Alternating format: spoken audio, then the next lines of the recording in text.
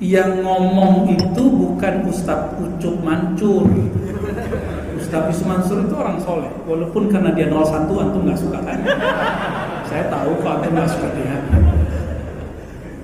Dulu waktu multaqo Habib dan ulama-ulama Al-Rusaifah di Cirebon itu ada salah satu ustadz mantan salafi yang sering ke Pekanbaru juga bilang aneh nggak suka sama dia. 01 katanya. Aneh langsung ketawa. Ya saya langsung ketawa Waduh, sensitif sekali hari ini ya.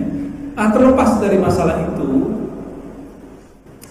saya nggak ikut ustadz itu, saya ikut hadis aja. Man ro'ani fil manam fasayrani yaqtazatan. Hadis sahih. Siapa yang bermimpi bertemu aku akan melihat aku dalam keadaan jaga maka kalau benar antum dulu pernah mimpi ketemu Nabi, pasti sebelum wafat akan melihat Nabi dalam keadaan nyata. Namun gak usah cerita ke banyak orang, cerita kepada orang yang mengerti. Siapa yang ngomong gini? Nabi sendiri. Mimpi aja kita nggak boleh cerita kecuali kepada orang yang arif, orang yang mengerti, orang yang alim atau orang yang mampu mentahbir mimpi. Kalau nggak usah Imam Bukhari pernah ketemu Nabi dalam mimpi nggak? Pernah.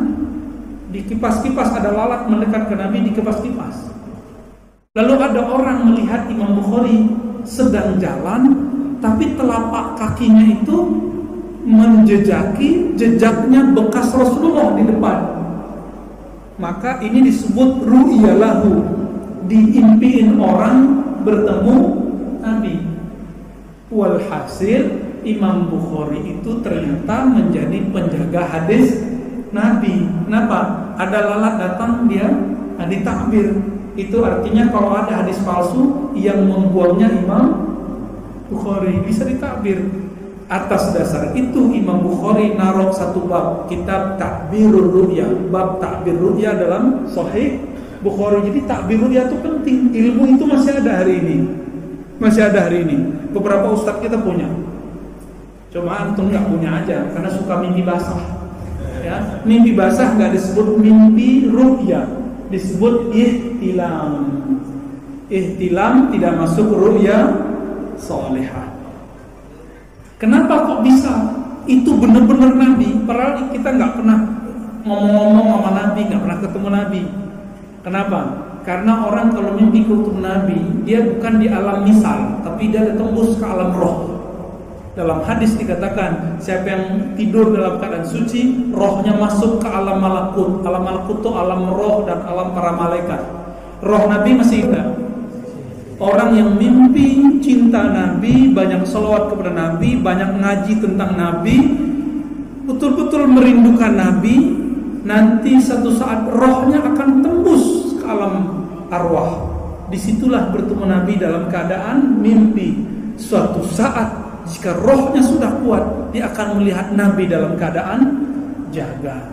Namun, gak usah ceritakan kecuali kepada orang yang sudah mengerti. Ya, mungkin uh, Ustaz Yusuf Mansur itu terlalu girang, akhirnya dia cerita. Tapi saya percaya.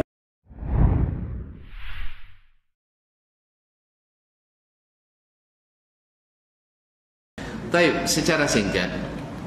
Pertama hadis tambahan bahwa siapa yang tambahan akan melihatku di waktu bangun. Itu umumnya perawi tidak meriwayatkannya sehingga dianggap ziyadah mungkar itu tambahan yang tidak sah sahih.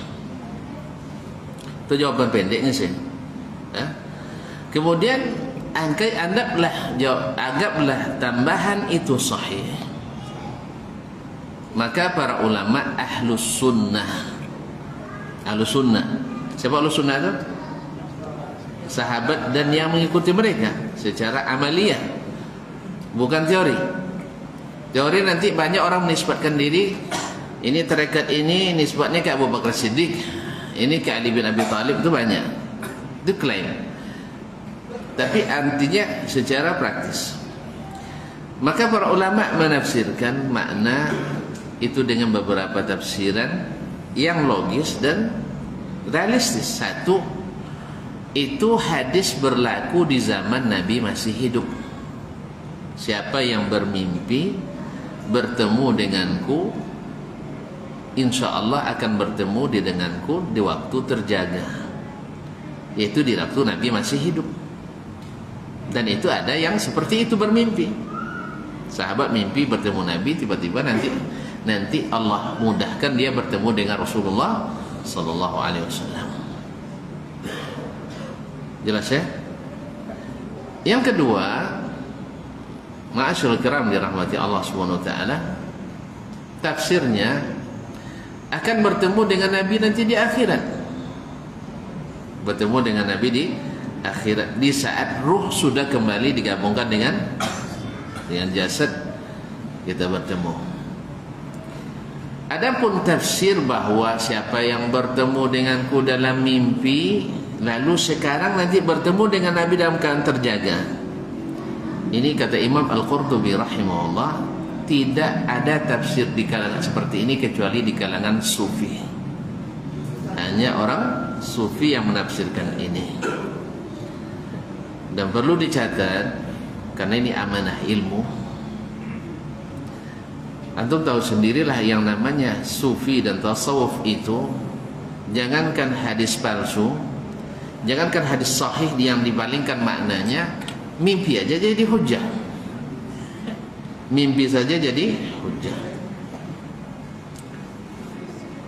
Maka tidak ditemukan tafsir itu kecuali di kalangan sufi. Yang kedua, mo mohon maaf diberi maaf bahwasanya termasuk kalangan yang terhitung paling banyak terhitung termasuk ya nominator pemalsu hadis paling banyak di antaranya adalah al-mutasawwifah ahli-ahli su, sufi. Tapi memang tidak rekor nomor satu nih. Nomor satu ada Syiah Rafidah.